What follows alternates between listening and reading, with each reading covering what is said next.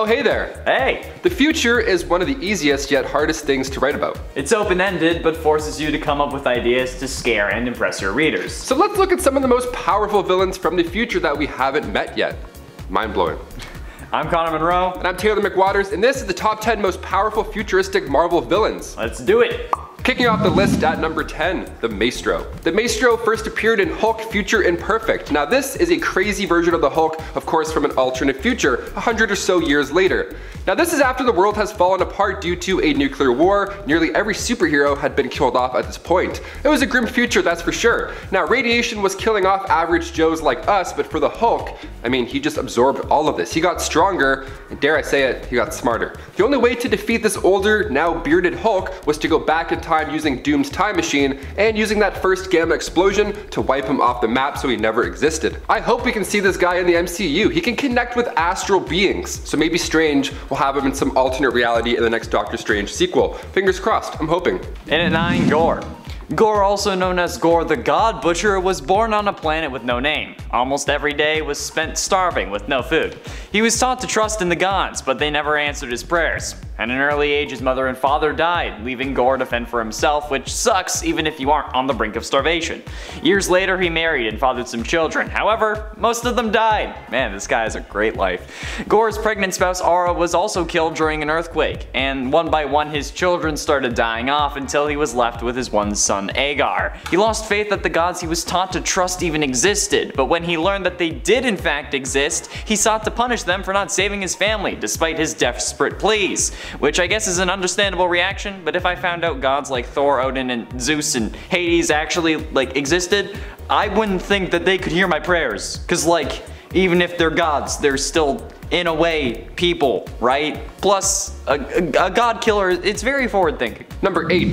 Ravonna aka Terminatrix. Okay, Ravonna Renslayer made her first appearance in Marvel Comics with Avengers issue 23. She was the daughter of King Kyrilius, a ruler in the 40th century. It was the last civilization that wasn't conquered by Kang at this point, but Kang spared them because he caught feelings for Ravonna.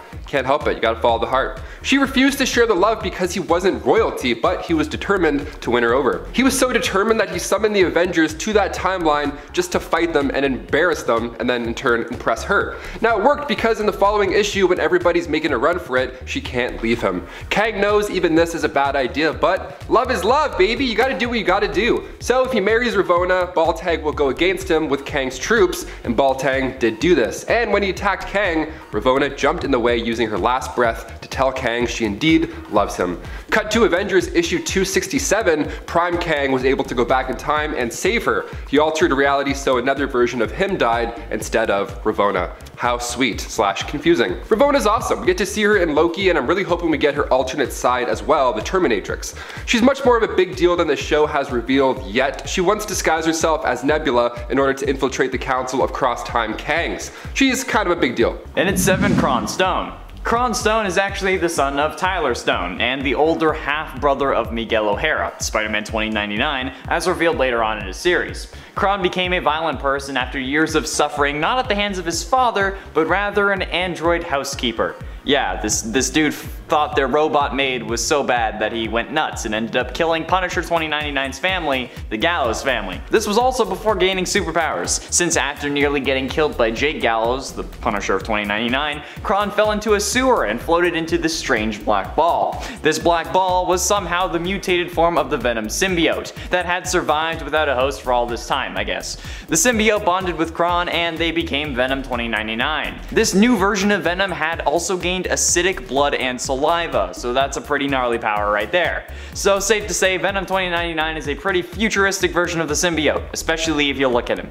Hot damn. Number 6. Chronarch. Not to be confused with the 64th century ruler from DC Comics, Chronarch was once a regular man, and he first appeared in Defenders Volume 2, Issue 12. He was a janitor working for a research group who, of course, spilled something that changed his life forever. He spilled something on the Chronoscepter, so in turn, it opened up this time vortex, and out came, you guessed it, Dinosaurs. Yeah, dinosaurs that he could control. So yeah, I had to include this villain. This guy is nuts. The Chronarch then made a cool suit of armor, of course, to fit the whole theme. And then he set up a camp in an abandoned theme park and ran operations until the defenders showed up to save the day. Now, I'm upset here because the defenders sent the dinosaurs back to their time, their doom timeline, which we all know, instead of just opening a Jurassic Park.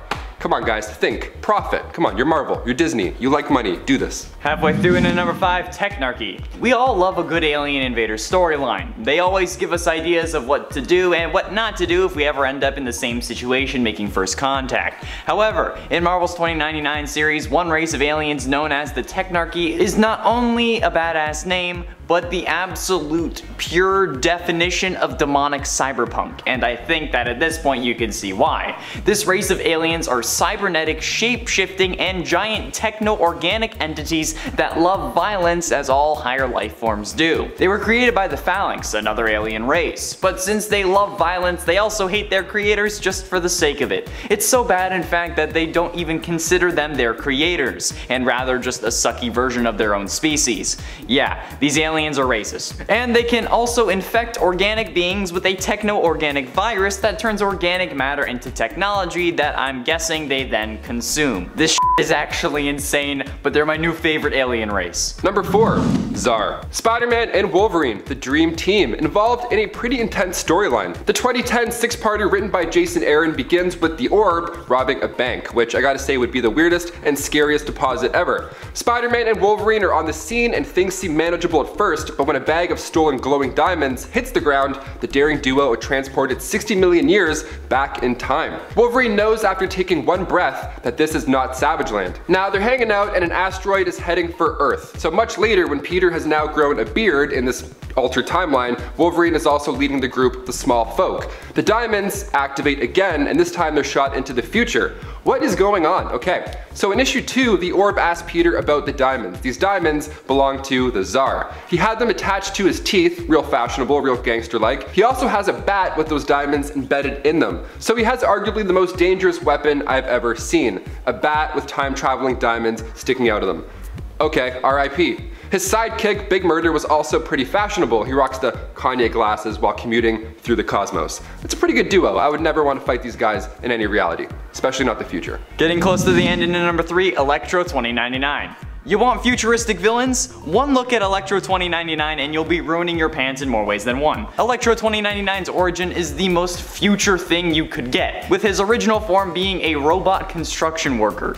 But this robot's creators became frustrated and unsatisfied with his work, so they sent him to a robot torture experimenter. Yeah, this is starting to sound an awful lot like my trigger and I don't like that. But the torture this android went through however broke his obedience chip, and as such the laws of robotics went out the window. This android then gained sentience and the ability to harness and siphon electrical energy, turning him into the new Electro. He also ended up joining the 2099 version of the Sinister Six. This is absolutely ridiculous to me. Like why would, why would you send a robot who isn't doing their job properly to be tortured? Why would you just not fix their coding or whatever it is? In 2099. This is why AI is a bad idea. I'm telling you. However, he does look badass. Number 2. Ultron. Making his first appearance in Avengers issue 54, Ultron in the comics was originally made by Dr. Hank Pym, but of course he became sentient and turned into a big brass bully. Ultron in the MCU wasn't nearly as cool as the comics, specifically the Age of Ultron storyline from 2013. The story opens up with the world gone dark. Spider-Man is kidnapped by a gang, Hawkeye performs a daring rescue, and then the two then meet up with the rest of the Avengers, or rather, the remaining Avengers ever. That's it. This future is dark and riddled with Ultron drones. Population is running real low. It's a stressful time. Ultron is ahead of the game here, literally. He uses vision as a conduit to communicate with the past. He resides in the future comfortably and remains a ruler. This is one of my all-time favorite comics. The team goes back in time to talk to Pym, but Logan has other messy intentions. It's a ride, you must check it out. Finally, in at number one, Kang the Conqueror. You knew it was gonna happen. Nathaniel Richards was born in the 30th century of Earth 6311, a reality where humanity never went into the Dark Ages. After centuries of advancement in warfare, peace was brought to the land by a time traveler from Earth 616 named Nathaniel Richards. Because Richards brought peace to this war-torn future, he was known as a legend. The Nathaniel Richards born to this reality, though, is said to be a distant descendant of Reed Richards, although other records also indicate that he may be a descendant of the Latverian monarch known as Doctor Doom. Or maybe some of the shippers are right after all. At the age of 16, intervention from his future self as Kang the Conqueror resulted in a young Nathaniel trying to prevent his eventual transformation into Kang the Conqueror, briefly becoming the young hero known as Iron Lad. The kid also briefly had a stint as a supervillain known as Kid Immortus. Basically, there are infinite versions of this character and all of them seem to have some form of beef. This is supposed to be the next main villain of the MCU apparently and hot damn, is this about to get crazy, as I'm sure you can already tell. Guys, thank you so much for sticking around. Those were the 10 most powerful futuristic Marvel villains. But before you go, make sure you drop a comment or two down below. Which of these are your favorites? Besides Kang, who do you think is coming to the MCU? Make sure you let us know your thoughts down below. I've been your host, Taylor McWatters. And I have been and shall remain Connor Munro, and I'll then we'll probably be around again. Yeah, we'll see you next time on Top 10 Nerd. Bye, see ya.